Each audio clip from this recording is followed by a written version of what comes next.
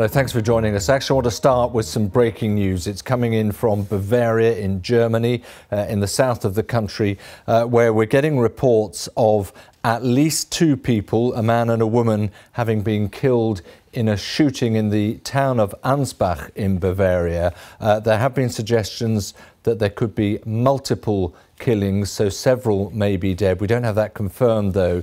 Uh, we do understand certainly two. Police say they are now searching for an armed man who fled by car. So this is the Bavarian town of Ansbach where there have been shootings and at least two people are understood to have been killed in the process and the police are chasing one suspect who fled in a car.